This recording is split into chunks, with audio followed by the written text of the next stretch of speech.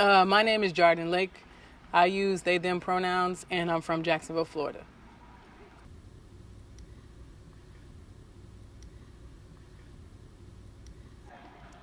My family said a lot of shit. Uh, my family, when I think about my family, it's a lot. My my mom, my mom has kind of been in this maze of just trying to understand. Um, you know, more so she sees me as this like masculine dyke, um, and so, you know, there's been kind of just like this evolution of how I sort of presented myself in terms of how I dressed. Um, and then I think more in my community, I use, you know, gender neutral pronouns. But like, man, I remember, you know, having my little tomboy look. That was my little senior high school look. And then I decided to buy some uh, man pants, dress pants. And my mama was like stuttering, mad, asking me like, "Why you, why you wearing, why you buying them? What, why you getting them? Why are you wearing them pants, Yar? You know?" And um, her just really feeling away. And then fast forward, and I think there's a broad a lot of ambiguity for her. Like we don't talk a lot about my gender like identity. Um, but now there's this new generation, my niece and nephew, you know, they're like fresh, spry, you know, little youngins, and they got all kinds of questions and they they're curious, all kinds of curiosities.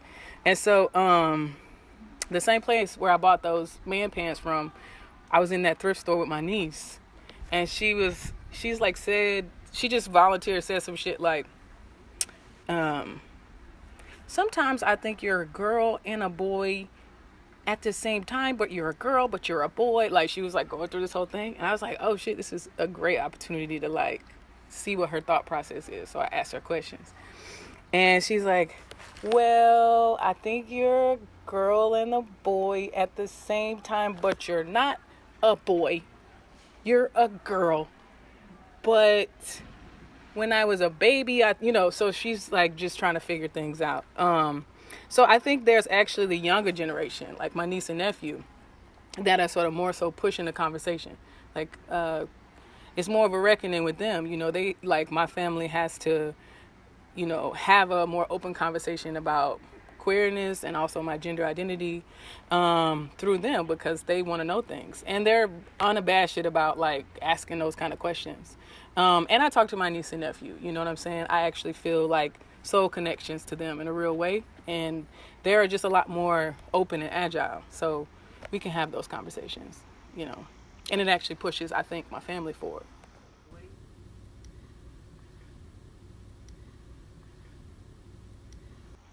Well, my family, so most of like when I see family, when I think of my family, say family, it's my mom's side. So, you know, I proudly come from like, you know, southern country folk. And so I think there's just a lot of ways where there are these very hard lines of gender roles, you know, things that men are supposed to do, things that women are supposed to do, and just not too much blurring across those lines. Even though I come from like a stock of women who have always kind of, you know I'm saying, crossed those lines in terms of the jobs that they did, how fierce they were, you know, all these ways that you would say like um, is untraditional. Um, but yeah, I think it's that, and I also, I mean, my family's also. Um, I come from like a more so like um, fundamentalist Christian family, and so there's just a lot of people's, you know, ideas of their own religion that play into it. So I think it's more so just like they're not trying to fuck with getting into heaven, you know. So I think that deal that that that crosses a lot into how they how willing or open they are to sort of um yeah just see another way you get what i'm saying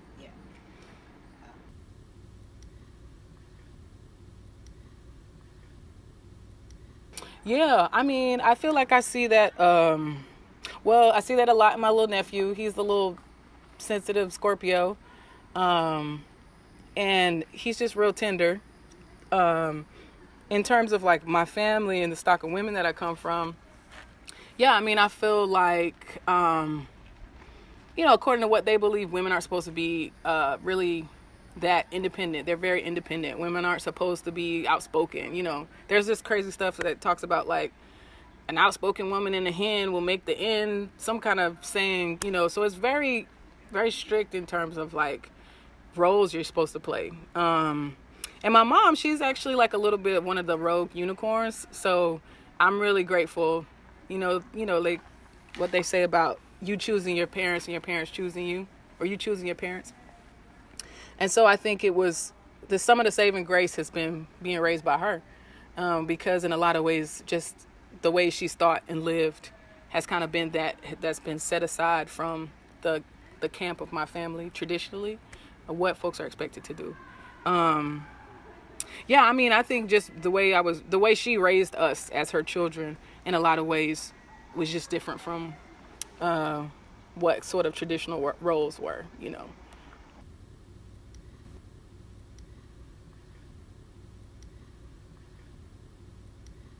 Um, well, you know, I think everybody has their own definition. Um, I think for me, like gender neutral, my pronouns also have to do with just how I feel spiritually aligned. So, you know, I feel like um, some of how I sort of walk and carry myself in the world, and then also like this, I feel like actually like the spirits and ancestors that are with me. So really, it's just sort of like I feel like I'm a vessel to a spiritual energy that lives in me. So that's how I would ex- explain it to her. Um, it's just that you know, people can uh, people have the ability to sort of be connected through spirit to lots of different entities. Um, and so that's how it lives in me.